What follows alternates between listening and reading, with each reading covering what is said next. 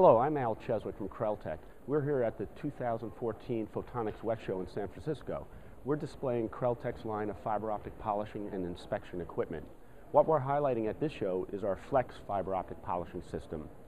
Flex is designed for processing photonic components such as waveguides, fiber arrays, and optical chips. It features a universal carrier.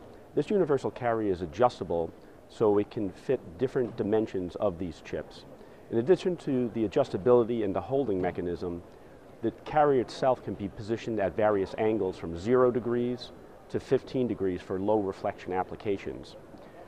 The entire work holder fixture incorporates Krell's standard and unique independent suspension and optical alignment features.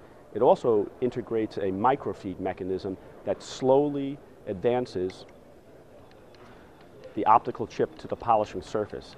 This controls the stock removal on the chip and it also eliminates the possibility of chipping to the edges. Also available after the polishing process is an inline inspection tool. This inline inspection tool interfaces with the fixture and while the light guide or the fiber array is still in the machine, you can inspect the surface in one work cell approach.